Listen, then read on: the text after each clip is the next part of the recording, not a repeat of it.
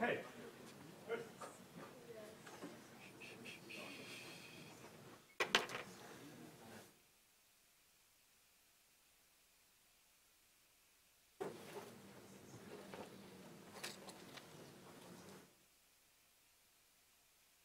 Let's get started. Any questions anything? I'm this Friday. We're trying to keep up on Piazza.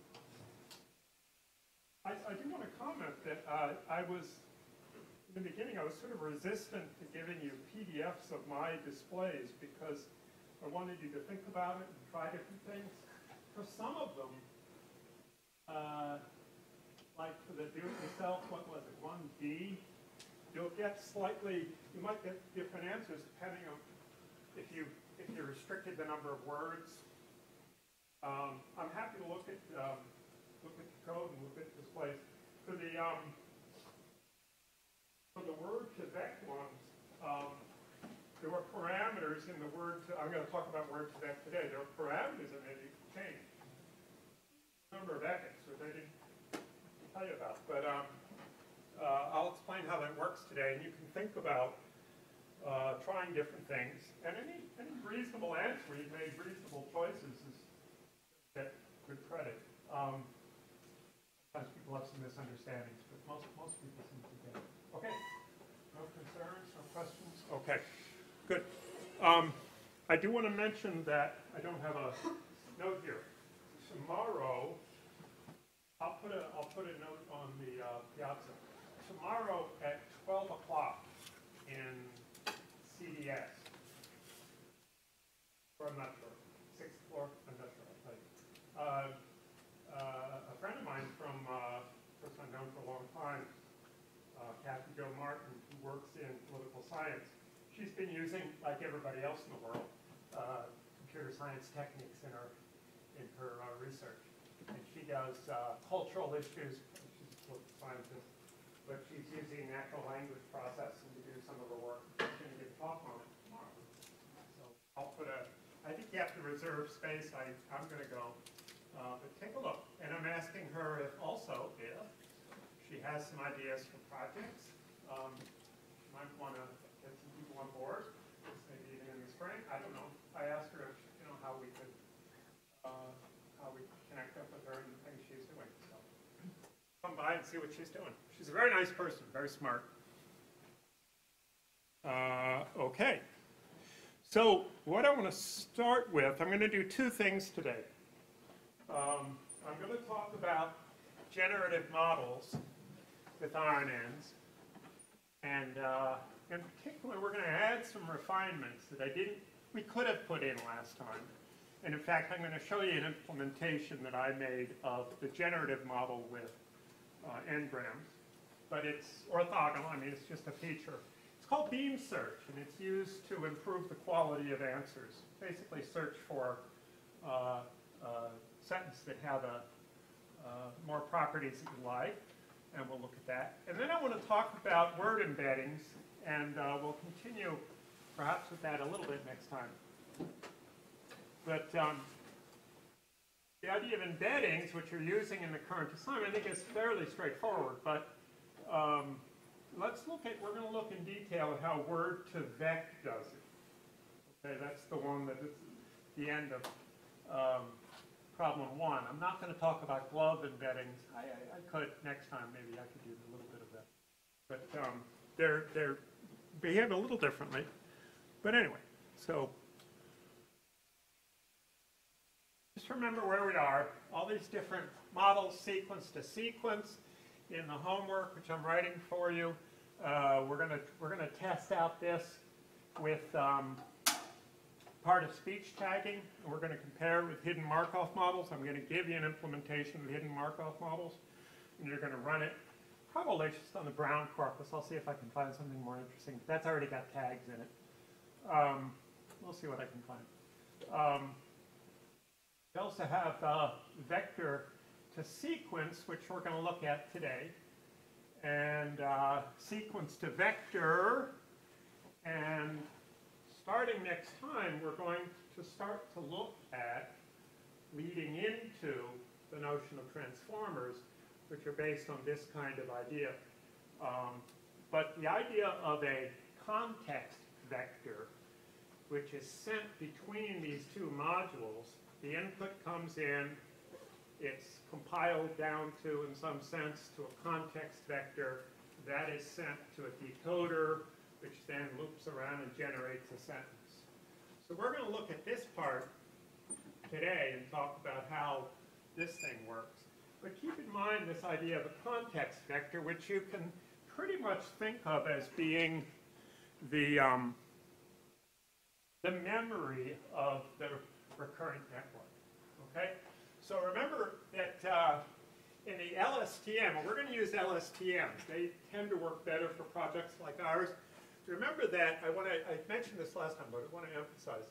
Um, in some sense, there's one loop or pathway, which is the memory. And it's called context uh, in many of the implementations. And so basically there's a there's bits flying around, you know, a vector, or it could be very large, flying around, and in the LSTM, there are basically, there are little subneurons with their own weight matrices which figure out uh, how to erase things from the memory, that's the forget gate, how to write to memory, that's the update gate, how to calculate an output, which comes out here based on the, uh, the input, and the output gate, which determines how much of the memory is used to do the current activation. So there's a lot of, uh, as I said, that was the first, that was the earliest design, and they simplified it in various ways, but it's still one that's very, very useful. We're going to use it.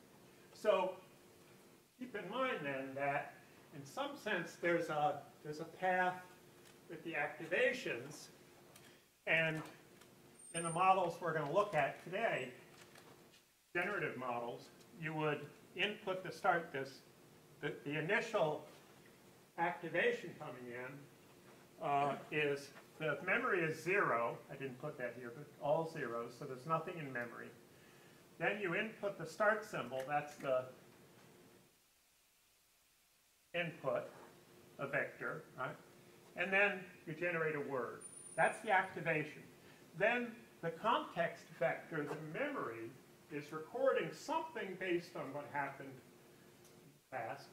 And then this loops around, you put it back in, the context and the activation come back, and now you're going to generate another word and remember something, generate another word, but you constantly take this word and put it back in. So until you generate the end of start, the end of sentence. So how do you train it? You train it on sequences because now we have sequences. So, uh, so long and thanks for all the fish. Break into equal size subsequences. Here uh, we'll do five, but typically you do longer. If you think about those, uh, you know, essentially you can remember as long as the sequence is. It's not exactly that way. Um, you can remember very long distance um, in principle, it can remember that there was an open parentheses and it has to close it at some point. And it can go beyond the end of the sequence. But um, basically, you break it into n-grams, think of it that way, right? Pentagrams.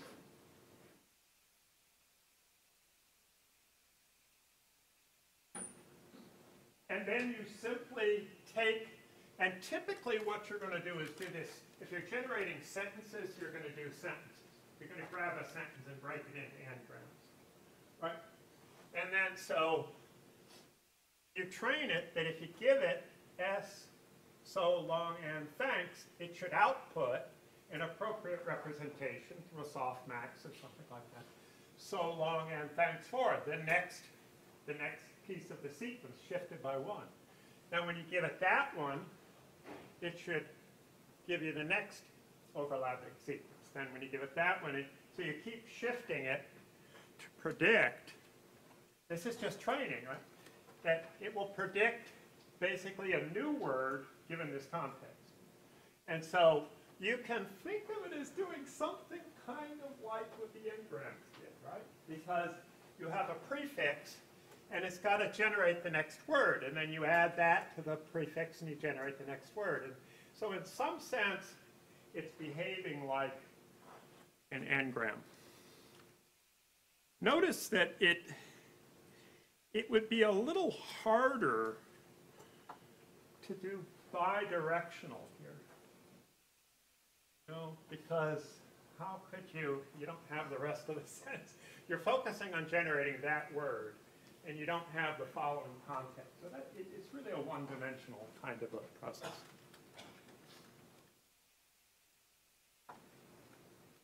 I mentioned this last time. You use some kind of uh, loss function here. We use log loss, so we're going to add them together. And basically, um, you, uh, you just calculate this, you know, what happens as you go along and as you generate.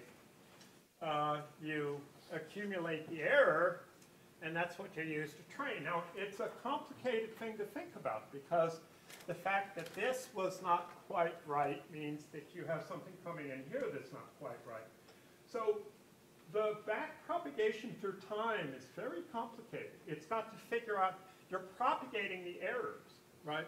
If this is not right, then you're giving it something which isn't quite right here. You see, it's, it's complicated. It takes quite a long time. The back propagation through time adds a lot of complication here. Um, the other question is whether when you started out, do you just give it the start symbol? Well, sort of, yeah, that'll work, but sometimes people find that it works better if they give it a, a context.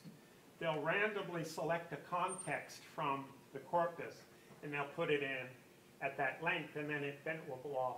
So there's a lot of different approaches here, but for, for now we can just think of it as you give it the, in, the start symbol, and it keeps generating sequences. It'll generate a sentence until it gets to the um, until it gets to the end of sentence symbol. Now,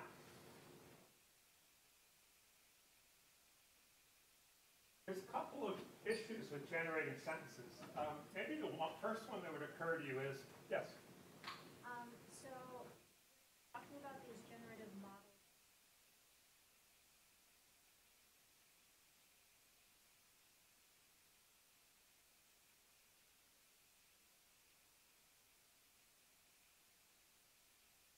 It will be.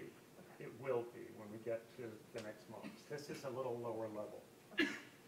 Um, I'm thinking of a context, and you're going to do this in the homework, where you might give it a start symbol, start of sentence, and it generates, then it generates a sequence of words. Or you give it a character, and it generates a series of characters, right? Now, in principle, uh, you could train it on different kinds of sentences. Start symbols for Shakespeare, start symbols for Jane Austen, start symbols for Milton's Paradise Lost, start symbols for Java programs. You know, and it could generate different kinds of sentences. So your input, it depends on how you train. You, know, you could just train it that way. Right? There could be different kinds of sentences that you want to generate. Um, but to get into generating a sentence that follows another sentence. Um, I'll talk. I'll start to talk about that next time. But that's a much more complicated thing. What is what is a whole sentence? Um, give it a sentence and it generates another sentence. Yeah, sort of. But there there are better ways to think about it when we get to transformers. Good question.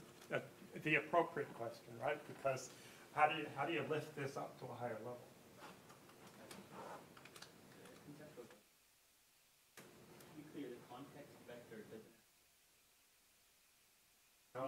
Store something. Like store. It, it is searching, You remember, the, the way we'd like to think of this is that it does something rational. And I, I've said this before, like with, if you look at vision models, you know, you'd like to think that like in the brain, they've discovered regions of the brain certain it'll recognize, certain parts of your visual cortex will recognize horizontal lines and vertical lines and circles, and they'll, and they'll start putting higher level representations together. But when people have actually looked at what neural networks do in vision, they don't do any such thing. Because they search in this high dimensional space for an optimal solution, and that's not necessarily the one they're gonna find. Uh, I'm not enough of an authority on neuroscience to talk about the brain structure, but this is a huge problem. What are these things doing? And we're gonna talk about embeddings today. What do, what do they mean? What do embeddings mean? There's some clues, and I'll talk about it, but it's really hard to say. It's learning a representation. It's learning to produce, to approximate a function. How it does it is a little hard to say. Let's keep thinking about that. Two good questions. Two perfect questions. Okay, so this problem, kind of addressing what you were asking.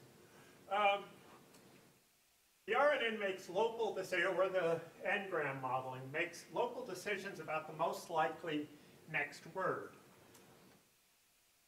But if, if you think of the n-gram moving across, it only has a certain amount of context to choose the next word, and then it chooses the next word, and then it chooses the next word. It only has a certain amount of context.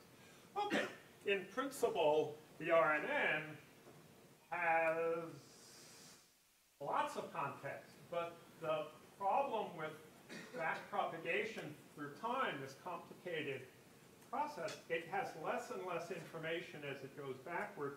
It can't remember everything. Um,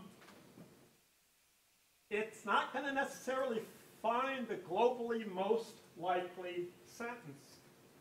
And in any way, what is the, what is the most likely sentence mean? Probably one most likely sentence. You generate all possible sentences is one that's most likely. Remember what we did was, and this is, a, this is something you have to think about. If you train one of these recursive, recurrent models, Again, like we did with the n-grams, you don't want it to gen generate the most likely sentence, and then you get one freaking sentence out of it, and that's it. So you have to do a, a you have to essentially choose probabilistically the next sentence based on the likelihood of the next sentence words that are going to follow that n-gram. This is what we did, right? And there's a, a lot of different methods to change what's called the temperature of the uh, of the, of the probability distribution. Hotter temperatures meaning it boosts the more likely ones, cooler makes them closer to a uniform distribution. There's lots of tricks that are used to do that. Okay, and we didn't play around with that very much. We'll do a little bit of that in the next homework. But it, there's a lot of issues here in terms of how does it generally generate a sentence that you want. Well, let's just think then about a different way, a broader, maybe a more global way of searching for an appropriate sentence, such that we can apply other criteria than just the next word. Okay? So, it's called beam search. It's been around for a very long time. It's been part of AI for decades. Um, and here's the idea.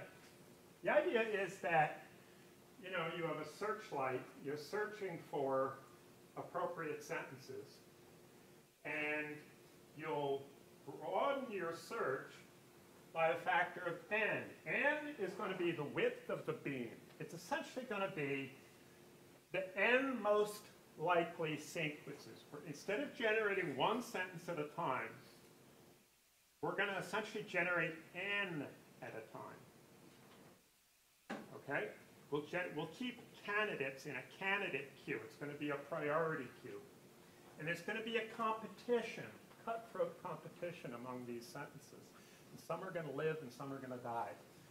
Um, So n is, I'm going to show you examples of this, and I'll show you my code or what happens in my uh, implementation. It's n-grams, but the same idea. Uh, n is the number of candidates in your queue.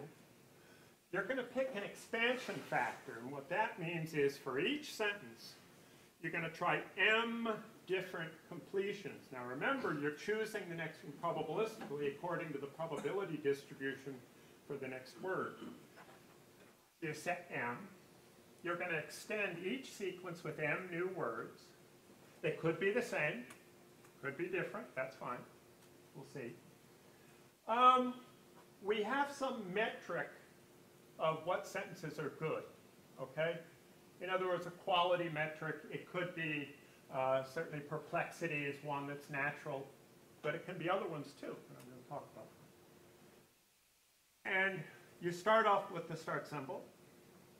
At each iteration, you extend each of the sequences m times using the generative model. Uh, if you generate the end of sentence, you pull it out and put it in another place, and you keep going. You finish with that, you can't go anymore.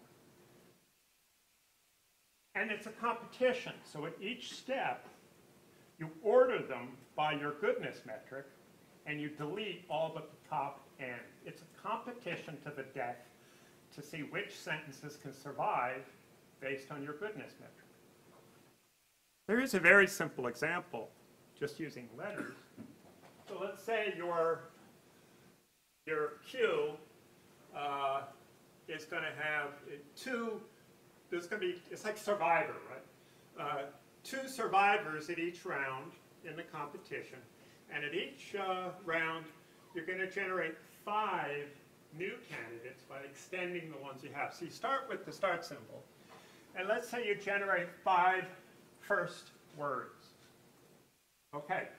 You take, you apply your metric, and you take the top two, didn't show the rest of them, and you take those, and those go into the next round.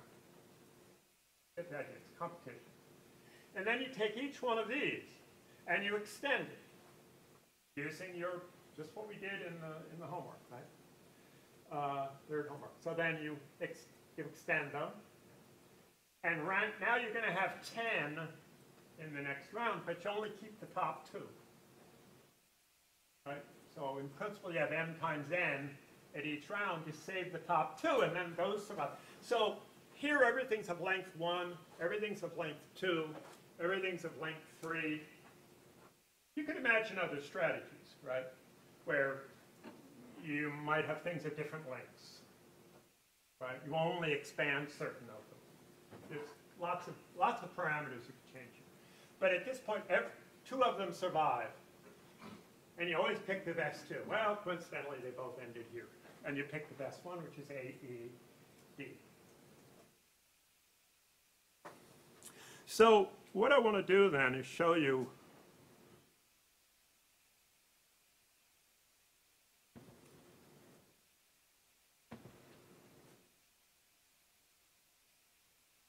So here is my, uh,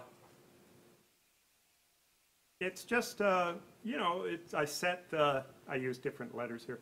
This one is going to say 20, you expand by 5, which kind of n-gram. And so you start with 5. This says perplexity, but I think it was the older model that I had. So anyway, you rank them. Uh, Lewis, and this is the Brown corpus, same one you used. Lewis, individual, Welch, types, placing. We're off to a good start. We're off to the races. Okay, in round two,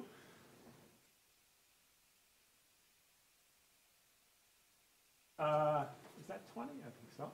Welch was. Individual differences. Lewis was. Types of, types of. Notice that I'm not making this a set. Why not? Well, because lots of sentences could begin the same way. Types of dogs, types of cats. I don't want to just always start the same way. Right? Lewis could. Lewis, yeah, here, right? Welch wanted, individual. Right? Now, uh, I generated, going forward, I'm going to generate more of these, but I'm only going to save the top ones. I'm always, it's a priority queue, and I'm always going to save the top ones. Round robin, competition, who can get the best score. Round three, individual, they're all the same length in this model. Individual differences in types of loans, types of loans, blah, blah, blah, blah, blah, so forth. Now, of course, when you generate the N symbol, you pull it out, leave it, uh, and you just keep going. Welch was wild with individual differences in, individual human strength is, so forth. Individual differences, Constam reactivity, 11, okay. Finished. Welch was on edge, types of loans, two sentences, the same thing, right? Welch wanted to know, Welch was worried. Individual help best, individual differences. Um, and you just keep going, keep going, and you end up with, uh, Welch was wild with delight. Lewis himself furthered these tales. So far, the winner is Welch was wild with delight, right?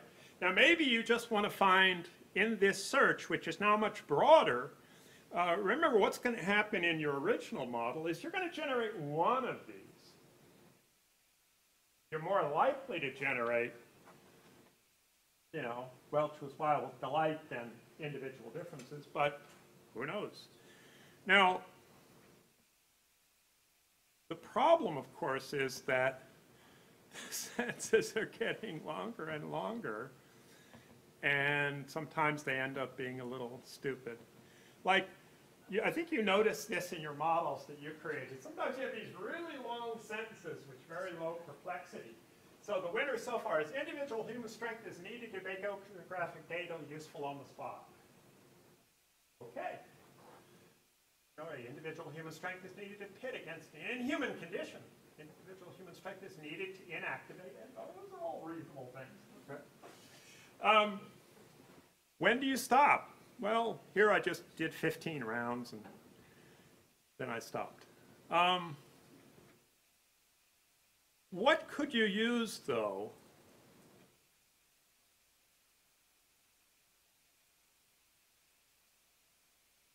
if, say, you wanted to think about what kind of sentence am I producing?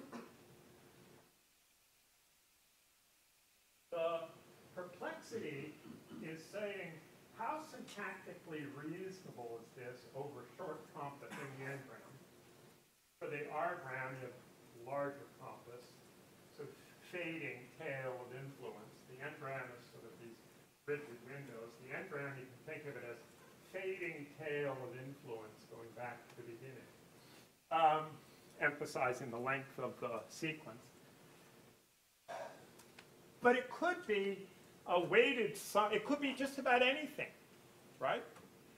Um, you're generating the next sentence, the next word, and you keep going, and you could evaluate the sentence in terms of just about anything you want. I'm not saying everything will work equally well. Perplexity. How likely is the grammar of this sentence? But remember what we did. We've done this a number of times. And it's one way of approaching it. It's a simple way of approaching it. It's not quite right. And that is we ignored length. It's not rational. I mean, not all sentences are the same length. Here is your data. This is why I had you do this, right? Here's your data from the first homework. This is the length of sentences in the Brown corpus. We also had uh, uh, the probability of various letters. You could find other statistics, the uh, percentage of verbs, percentage of nouns. You could find a lot of statistical measures of the Brown corpus. And our generative model is not likely to fit any of those. All it's doing is generating the next word based on a very limited context. It has no global view of what's happening. So for example, you could take this model of sentence length and add it into the goodness. In other words, either probably multiply or some kind of fat, you know, weighted uh, product of perplexity and length. So now you want to emphasize sentences that follow this distribution. Not quite going to work because you're going you're incrementally adding, but it's a start. Um, how about meaning? Is this sentence expressing what I want to express? Is it answering a question? Is it on the topic I want? And there are naive things you can do, like say, I'll rate it very highly if it has certain words, keywords in it. Or it could be the meaning is. I want a sentence that says something in this area of the vector. So what I will do is uh, take the vector space close to where king uh, murdered is, and I will generate sentences that are close to that in vector space. And I will put that in my global criterion, and then the theory being, it will generate sentences that are close to that meaning. In fact, um, these are interesting ideas, but now transformers have transformed the whole, the whole approach. But this is a, this is a way to think about this beam search. Um, it's not guaranteed to find the optimal sequence in any way, but it is a broader search, right? Instead of depth first, it adds a little bit of breadth first to the search, if you think of it that way, right? It's not completely breadth first. You know, you don't generate every possible sentence, but you are taking it from depth first to, to a wider uh, search. Uh, and for simple applications like this, it works very well.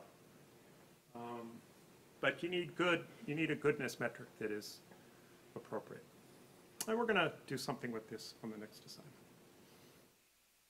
Okay, now that we've um, spent a little time on neural networks, I wanted to talk about, go back and talk about word embeddings in a little more detail.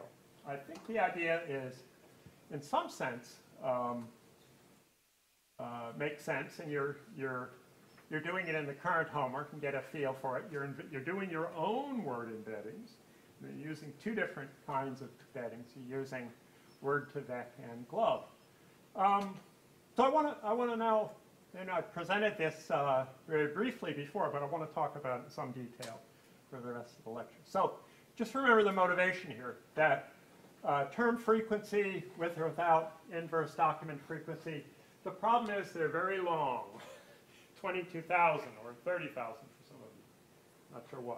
Um, and it is, uh, each word would be one spot, would be a one hot vector in that huge, enormous space.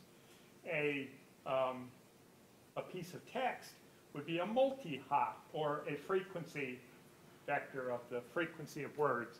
But each word is a, is a separate location.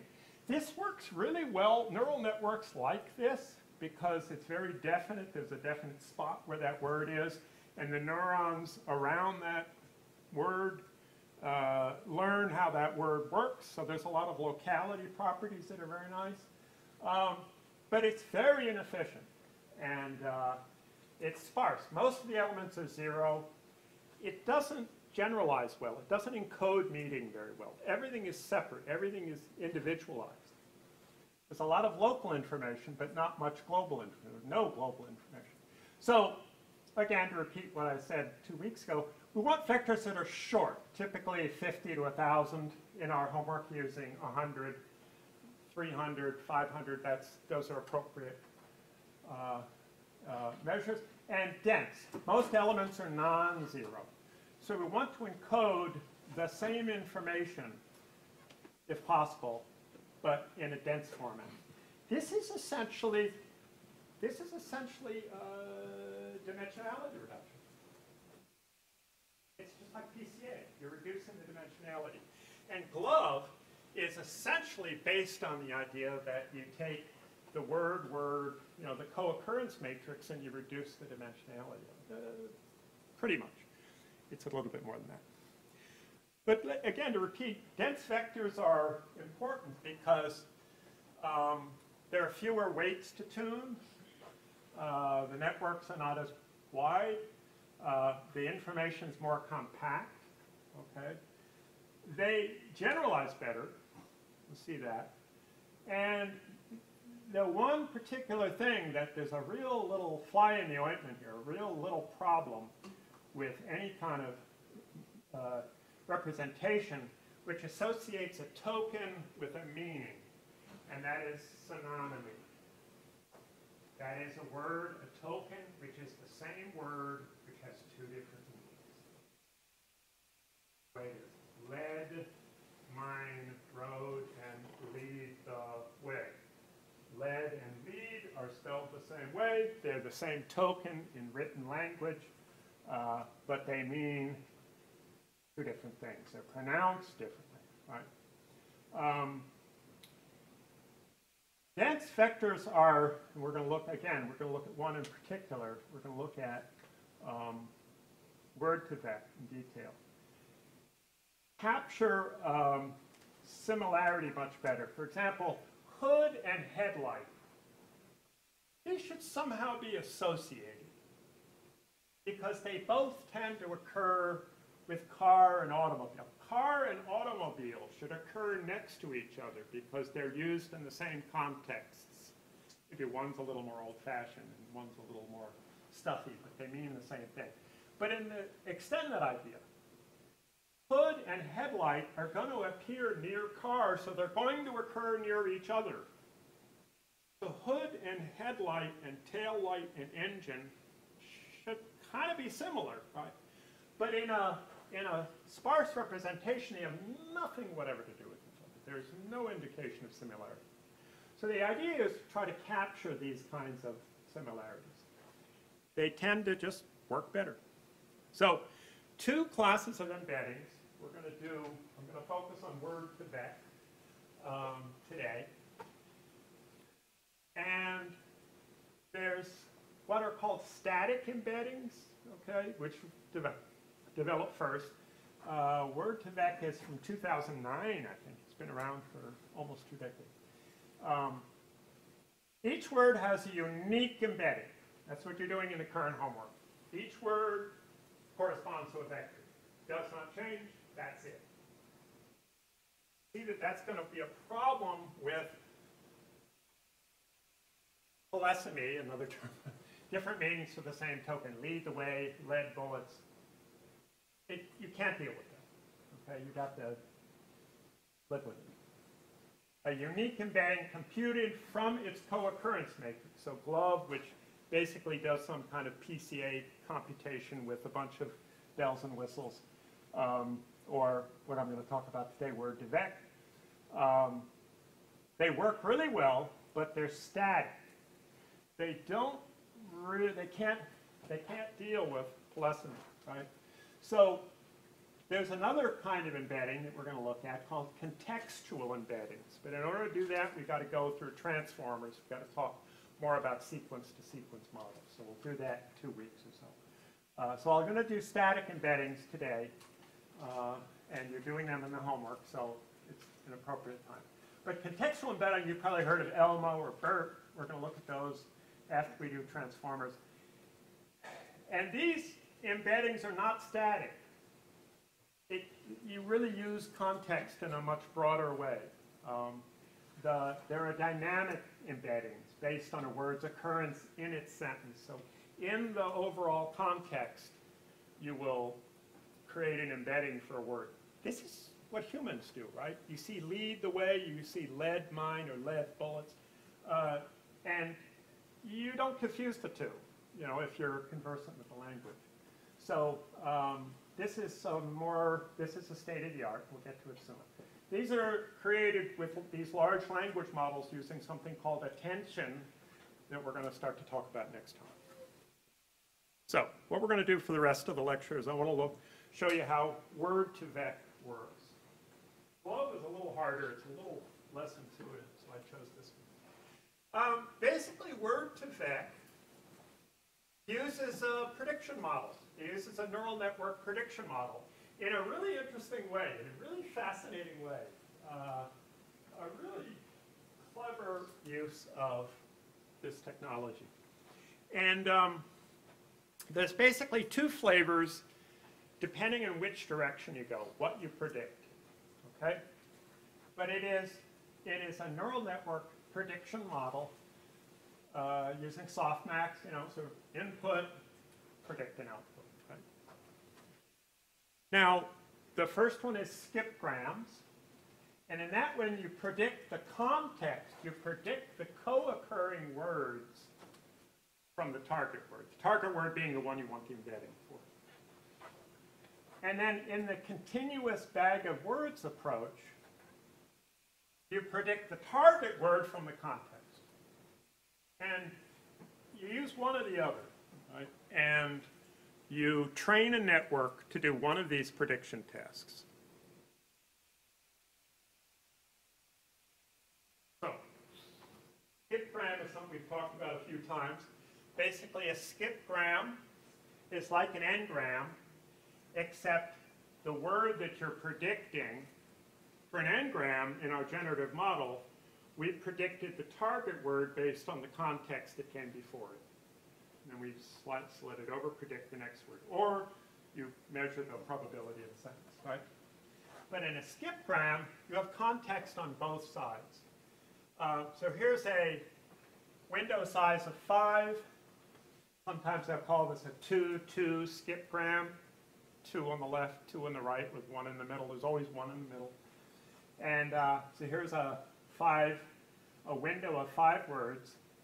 Almost always, almost always, uh, you have, in the, in the general case, you have the same context before and afterwards, same size. Okay, so the word is in the center. So Claude Monet painted Le Grand Canal, uh, and so here's a, a window of five. The input word or the target word, let's call it, because in one case it's input, in one case it's output. And then you have the surrounding words. So this is word at time t, t minus 1, t minus 2, t plus 1, t plus 2. And you slide it across, just like you did with the n-grams.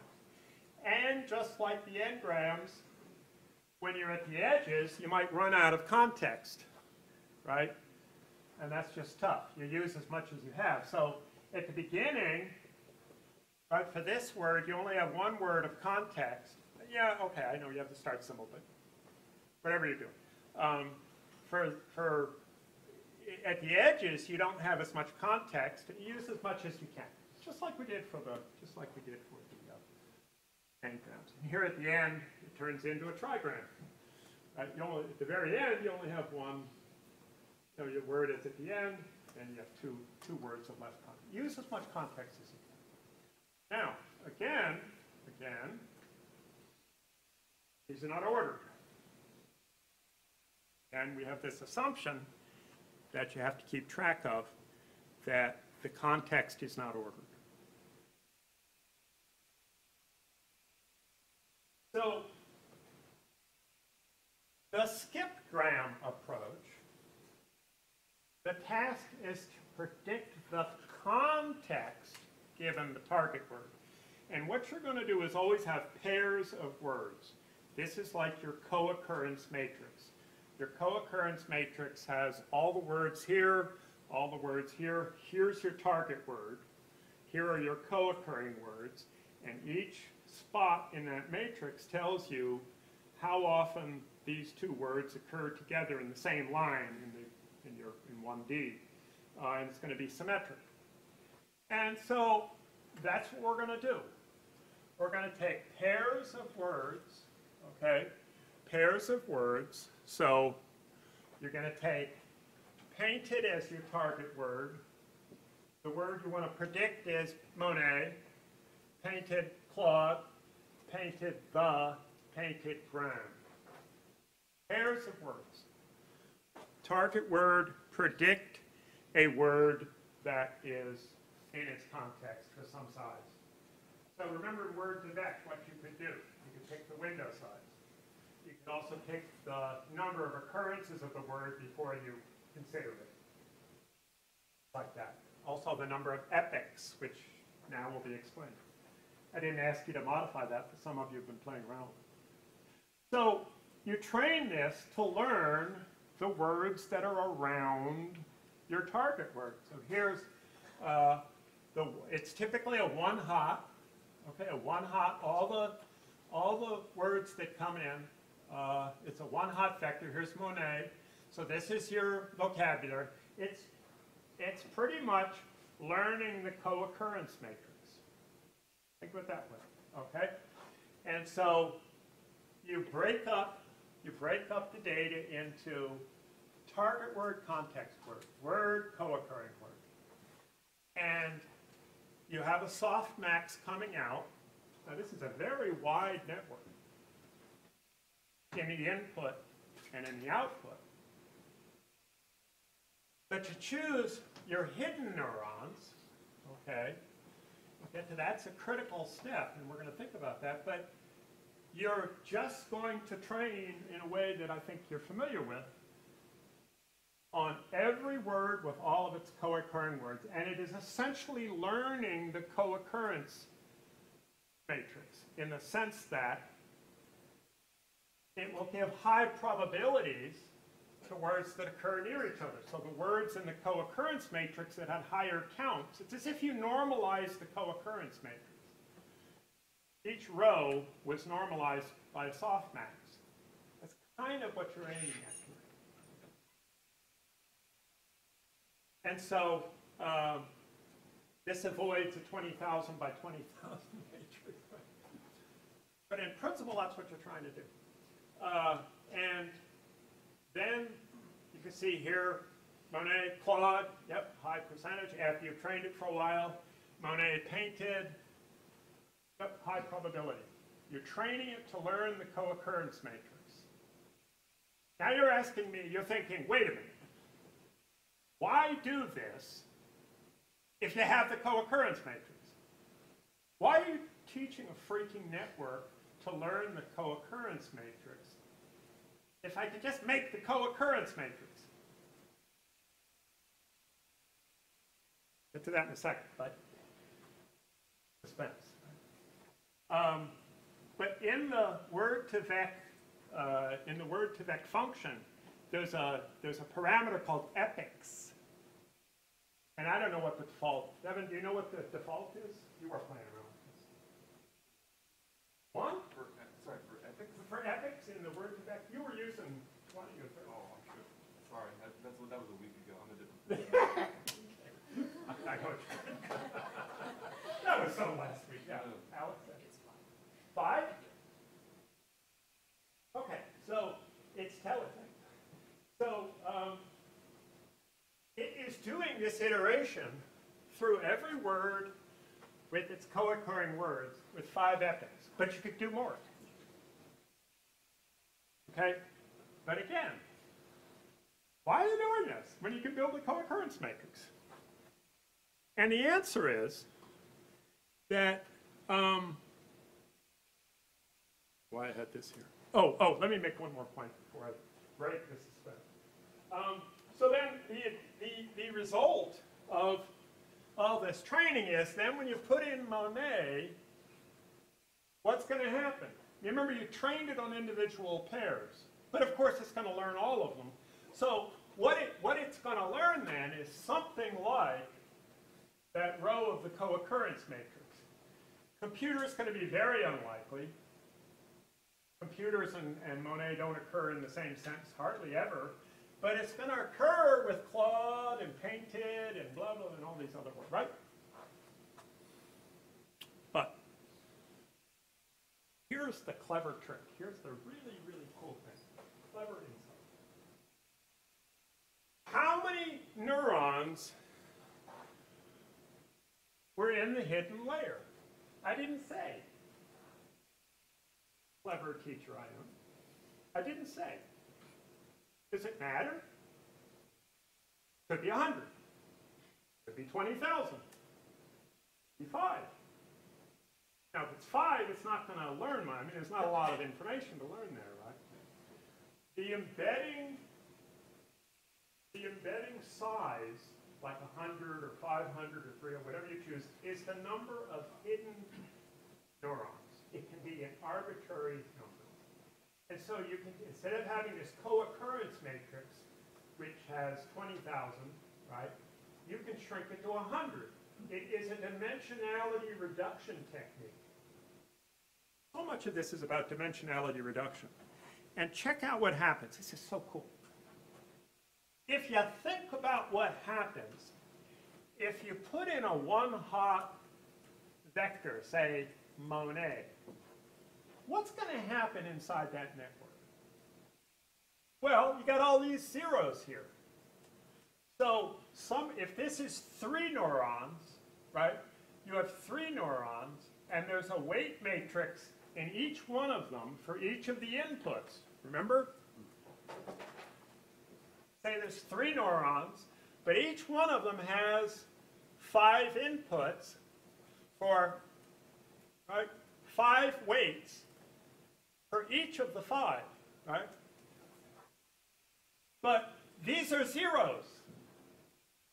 So the weights are not used for any but the three weights that are attached here. In other words, the weight for this one, for this one, and for this one. Right? This is the key insight. And so none of the rest of these matter. They all get zeroed out.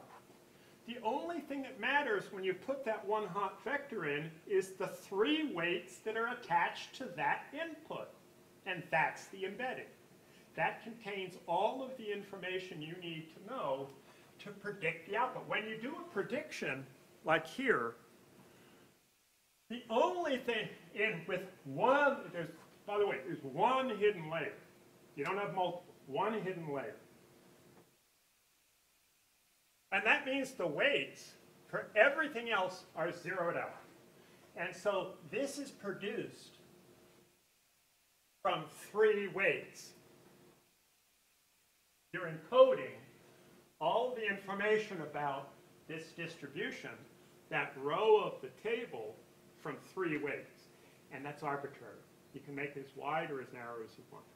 Obviously, the broader it is, you know, the more neurons and the longer you train it, the more accurately it will approximate the row in the co-occurrence matrix, which is our embedding. Isn't that slick? I love that. Now, um, you can choose any size you want. By the way, this is also, I, I'm, I don't know that auto-encoders are, uh, you know about auto-encoders now? How do you know about auto-encoders? Yes. An autoencoder is a way of, uh, of, it's again, it's a dimensionality reduction technique. If you have an array of information here, maybe it's an image, maybe it's whatever it is, let's say it's an image. And you've seen in linear algebra, in our linear algebra class at least, how you can take an image and use PCA to reduce the complexity. You can compress it. Well, you know what you do in an autoencoder? You haven't learned the identity function. You put in the image here, and you put in the image here. And you train it to reproduce the identity function. But you choose the number of hidden neurons. And so you have, I don't know, a thousand pixels and you choose you know, a hundred neurons. You're reducing the size, the, the dimensionality of the image from a thousand to a hundred. Because what's in here is the embedding. It contains the information you need about that image. Now here, of course, it's not the identity, it's not an autoencoder, but it's encoding this sequence in some number of neurons, so it reproduces, it learns the best approximation of that row in the co-occurrence matrix. I just love this idea. I think it's so cute. Okay. You don't need the output. you just need you just need the embedding. You just need the you just need to save the uh, the, the embeddings are all of the uh, certain slices of the weight matrices in the, matrix.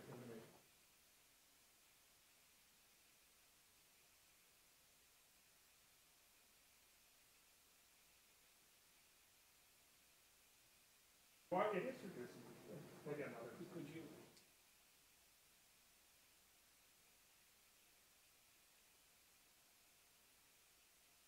like creating it yourself?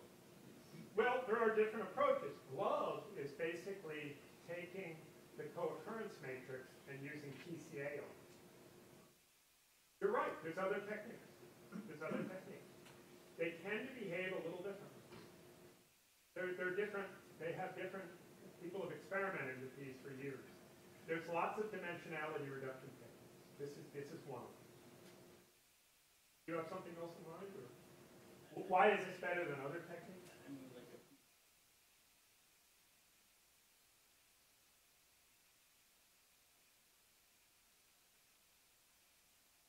Right. what is that? How big are your embeddings for the do-it-yourself? Twenty thousand. And they're mostly sparse, so like, several slides back. They don't represent meaning very compactly. They don't have the right properties. Yes, you can, absolutely. That's what GloVe does. Yeah, that's what GloVe does. Yep, With a lot of other bells and whistles. Yep. It's not exactly the same. They all behave a little they're all dimension, you're absolutely right. They're, they're all dimensionality reduction techniques. And the question is, which works better for NLP? There, there is a variety of approaches. You're absolutely right. But it doesn't mean you should automatically assume that one technique is better than the other. The PCA approach has some advantages, that's well. Uh, micro, uh, Apple has fastText that uses a different, there's a variety of different approaches. They all have, they all turn out to have different advantages and disadvantages. They're all basically dimensionality reduction. Yeah.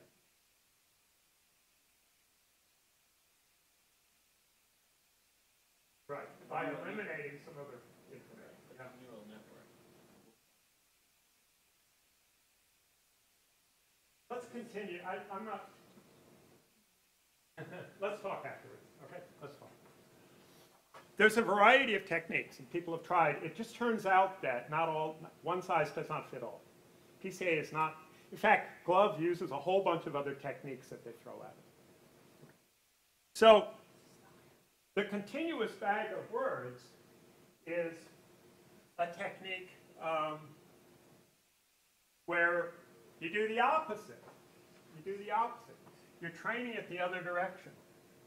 So um, now you, and it almost seems more natural. It seems like a, a, a, reasonable extension of the n-gram approach. In the n-gram, you have a prefix and you either calculate the probability of the next word or you generate the next word, how likely is the next word. Now we have context on both sides. So now we have prefix, a postfix, and the word in the middle.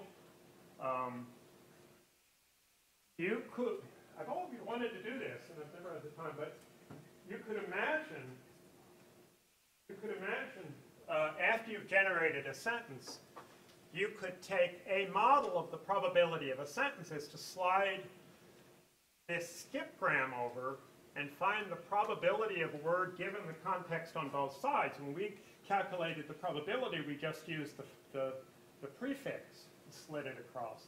You could use it on each side. You can see that you can't really generate that way because you don't know what's after it. But after you've generated a sentence, you could, you could use this to generate a probability that might be more accurate. I've often thought about that. Um, I've never tried it actually. So you do the opposite. You you get the uh, the context, Claude Monet, the brand, and you want to generate, you want to predict the target word. That somehow seems easier, doesn't it? Um, so again, you slide these across. Again, when it's on the edge, you don't have as much context. You might need to chop off some of the context. And to train the network, uh, you give it the entire context as input in a multi-hot vector. So here you have a frequency distribution of the context. And you give it the context, and then you train it, right?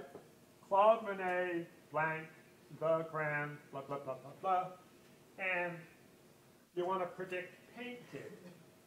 And so now the training, the data, and the label, it's a multi-hot vector and a one-hot vector, which is the word, you know, so the training instances are going to be all of these pentagrams, essentially, with the one hot, the multi-hot giving you the context, and the one hot being the word in the middle, the target word, and then you train to predict that target word.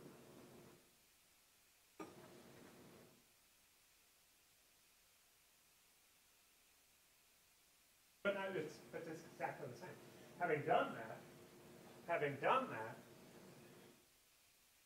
again, you choose uh, as many neurons as you want, and now you're selecting a different, instead of a, uh, instead of a column, you're picking a row, I guess, uh, of, you know, values from this matrix for this layer. I mean, this layer is a, is a matrix. You're picking a row or a column. It's very easy to access to get the embeddings out. You're either getting rows of the embeddings or columns of the embeddings in either one of these. It's incredibly easy to get them out. So here, you're going to pick the weights that produced the one. They produced this. So again, you're training it, and the embedding is just a vector of the weights. Might be my last slide, did I? No, it isn't. Okay, just a couple more. I'm going to end early. Um, so, in um, in both approaches, we're using gradient descent to move similar words closer together and dissimilar words farther apart. And maybe this is the best answer I can come up with. Um, Because it's not clear that PCA does that. Reducing the dimensionality does not necessarily move closer words together and dissimilar words farther apart. Real time here, that's my first answer. PCA might not automatically have that property. So they add a bunch of other bells and whistles, and that's GloVe, um, global vectors. But um, basically what's happening is, uh, say for the uh, skip-gram approach, as you do the gradient descent, you're, you're moving, when you have something like apricot jam, the, the jam and apricot are moving closer together. They're learning to be closer together. And Tolstoy and apricot, I guess he didn't like apricot, uh, move further away. And so there's a, a large number of refinements that have been made to this. It's sort of focus on how the gradient descent works. Um, so, for example, um, and they just start adding bells and whistles to it, right? And to little tweaks and been doing this for a long time. One thing is, for example, n-grams didn't seem like they were that powerful, but they're good at one thing, and that is putting words together that almost always occur together. Like San Francisco. I guess San something or other, lots of cities out west, right? But Francisco, Saint, Fran you know, I don't know, but this is highly likely, that bigram is highly likely to occur together, right? So what they do is they, they, um, they fold frequent n-grams, very likely combinations into unigrams. They just put them together. So that's a pre-processing step. You take San Francisco and turn it into San Francisco with an underscore, literally. Um, you take X formerly known as Twitter and put that all into one. Uh, or, you know, Jim Jordan, Republican firebrand, which everybody says in the newspaper, you know. Um, unindicted co-conspirator. You know, all these phrases that occur constantly together, they would put them, give me one second. Let me, let me go through these. Uh, they put these, they put these together into a unigram. And that's kind of, it's, it's a low-level processing step that seems to improve things. Um, they also do um, what's called subsampling. So it turns out that uh, when you're looking at these pairs, uh, this is particularly with the skipgram approach, when you're looking at these pairs, you kind of want to do stochastic gradient descent, but choose the more common pairs more frequently. In other words, not all pairs occur together with the same frequency. Uh, and so th- adjust the sampling probability to probability at the words uh, in the corpus. So um, you, you have some, and there's a formula that they've worked out for doing. And then something called negative sampling. And negative sampling is pretty much based on this idea that you're moving, you're moving similar words close together and dissimilar words further apart. So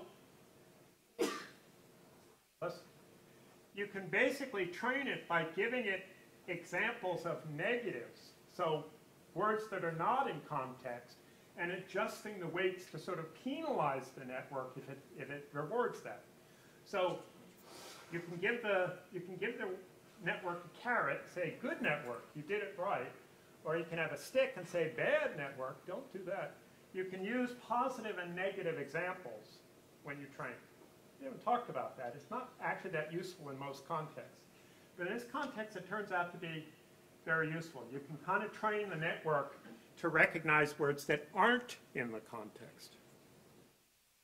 Um, which approach is better?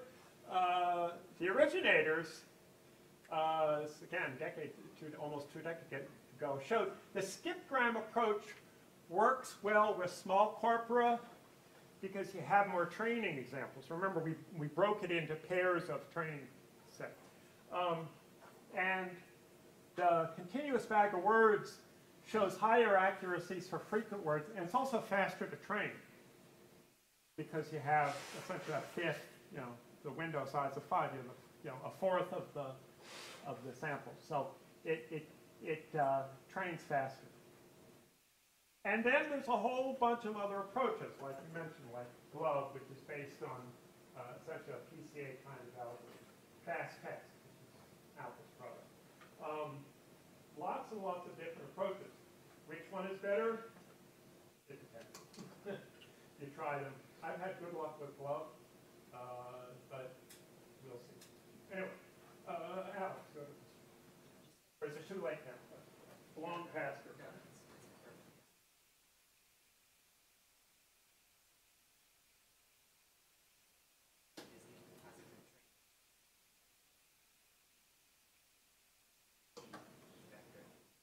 You have a new word. Uh, there's a couple of approaches. that you mentioned. I should, yeah, I should put a slide up on that. Uh, it, it's the whole question of what do you do with unknown words? And we talked about this before with smoothing, right? And you can do something essentially very similar. So, two approaches. Uh, one is to invent a unique token called unknown. Every word gets replaced with unknown. And then you can basically give it some small probability, like smoothing. The other one, which seems completely counterintuitive, is choose a random word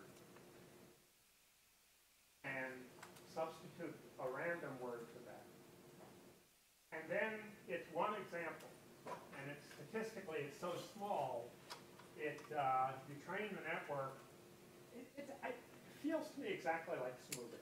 And I don't understand the exact difference between those two.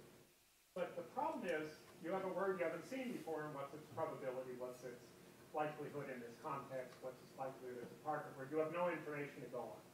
So you've got to come up with some small probability because it's an unknown word. You've never seen it, so it's not a common word. It's uh, clearly at the low end of the probability distribution. So the two approaches that I'm aware of are having this, this unknown, give it a small probability, or give it a random instance, is also very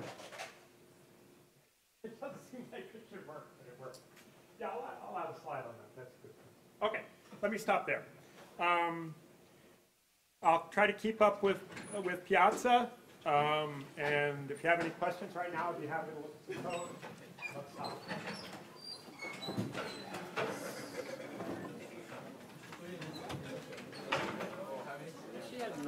Yeah, but I think that's the answer, is that PCA doesn't necessarily, the thing that happens with, with, uh, with PCA, you know, this analogical reasoning, like king is to man, as queen is to woman, you can do those with this, with this method. I don't know that it necessarily works. I got both, what I understand, is it says, okay, given X number of dimensions, I have to get as close as I can to this. Pick the dimensions that have the most.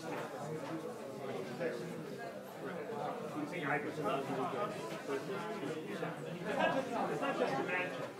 You the.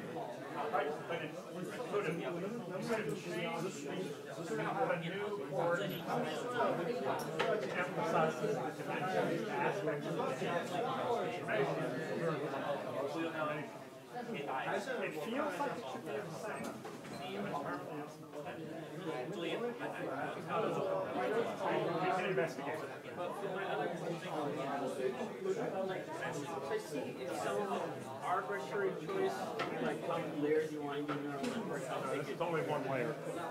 These are only one layer. Right, but like in general, in general, it's like arbitrary choice, like what type to use to use a relevant. Could you use a neural network? Train a neural network. Like, and to, like, you know what I mean, like, figure out what is the best structure Yes, as yes, a yes, network. Train a neural network To figure out what the most optimal neural network structure is for a certain problem. I Uh, mean, I imagine that'll probably take a very, very I'm sure somebody's doing it, but uh, hyperparameter search is grid search is basically you search the space of You're searching the parameters, like parameters. You just try, you know, but, but essentially you can think of having a, a neural network run a- another neural network. But it's really just an optimization. It seems like it's, maybe a neural network is a little bit overkill, but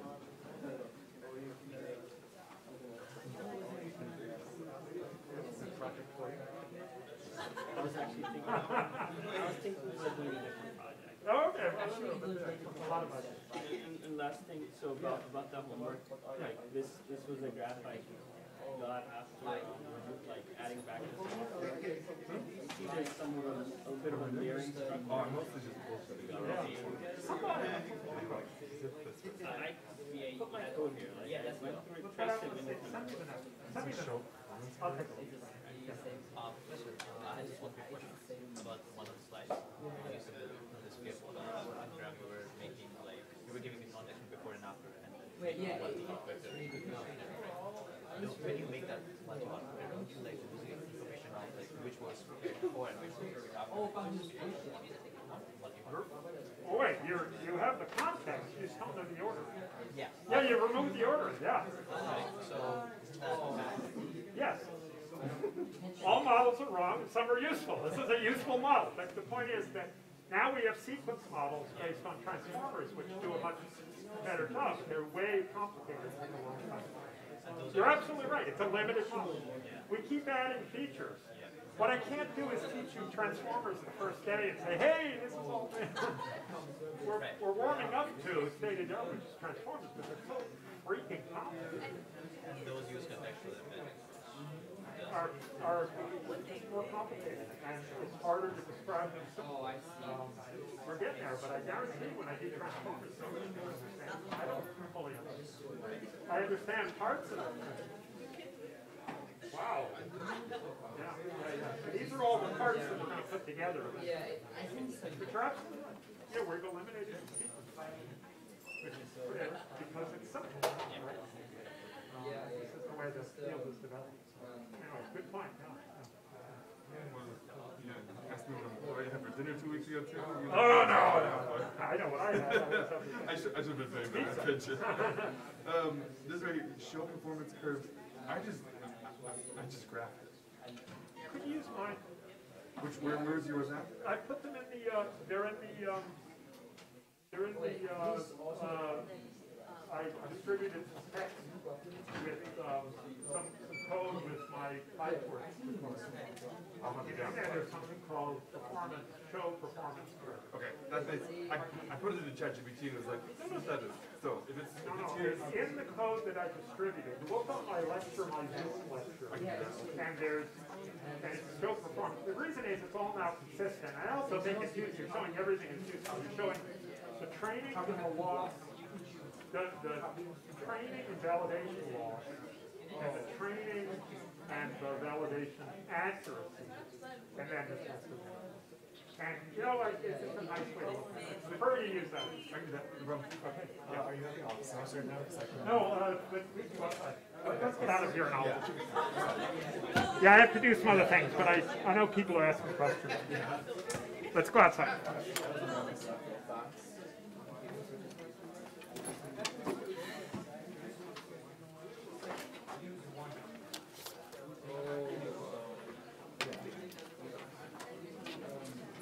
So I posted on Piazza last night, um, and I'm still having trouble. Um, I'm having issues with the graph in 1D with the DIY word embeddings. And I'm really confused. I'm just really confused. Yeah, let's look at it. Let's look at Yeah. Thank you.